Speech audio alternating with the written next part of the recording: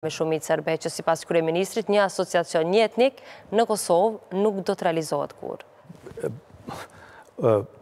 Shikoni, asociacionet janë zakonisht monoetnike.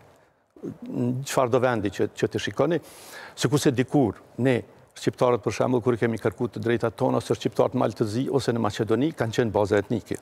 Kanë thonë shqiptarët kërkojnë të ketë mekanizma me cilat mbrohen drejtat e tyre. duke filluar për gjuha, shkolla e tjera e tjera. Kështu që kjo është një realitet në tërë Evropën, nuk është problemi që është dhe është specifike po, tash për Kosovën. Po, aktualisht, po, komuniteti serb konsideroj dhe mendoj që i realizon gjithë këto, këto të drejta, pothuajse edhe të pavarur, ndoshta prej pjesës tjetër të komunave të Kosovës, e dimë shumë mirë se si funksionojnë komunat në, në veri të vendit, zoti Po, mirëpo, kërkesa e ndërkombëtarëve, Lidhur me këtë asociacion lidhet pikërisht me një mekanizëm i cili në mënyrë më të plotë do të realizojë të drejtat e tyre, një ndjenjë të sigurisë branda brenda Kosovës. Mos harrojmë edhe realitetin që është fjala për 5 ose 6% të popullsisë dhe ne s'do të duhet të frikohemi tash që ai mekanizëm do ta rrezikojë Kosovën ose të tjera se s'do ishte serioze aspak.